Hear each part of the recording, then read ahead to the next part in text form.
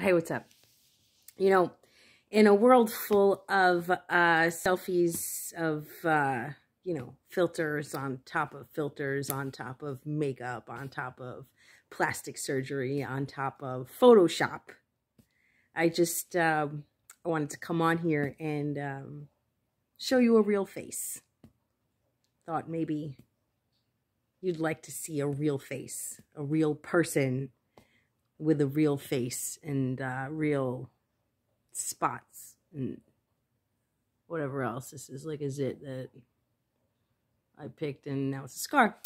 You know, I could even go down here. I can even go low and, and throw a little double chin at you. This is my face. I just got done uh, working in the yard and I need a shower and this is pretty much as real as it gets.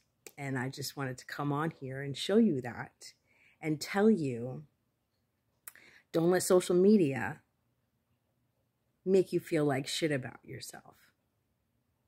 Because you're beautiful. Just the way you are. I love you.